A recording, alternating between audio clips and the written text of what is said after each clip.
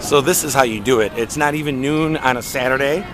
And yeah, Raging Bull is up to the station. There's no line, like nothing back there. I mean, it is a warm day, but chance of rain, but still, it's just how you do it. Labor Day weekend, this is how you do it, son.